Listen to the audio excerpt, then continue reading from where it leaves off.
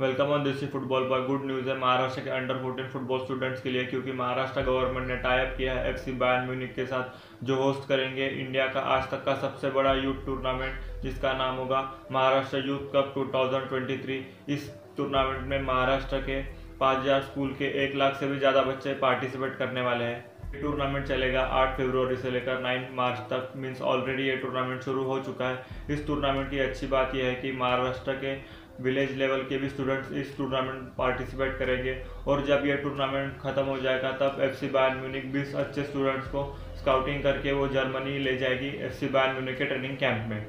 इस टूर्नामेंट से Maharashtra government try कर रही है कि वो यूथ प्लेयर्स को फुटबॉल कल्चर के साथ लिंक कर पाए।